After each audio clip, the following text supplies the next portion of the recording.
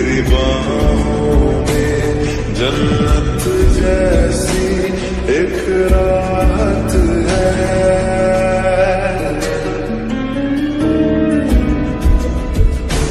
एक बात कहूँ क्या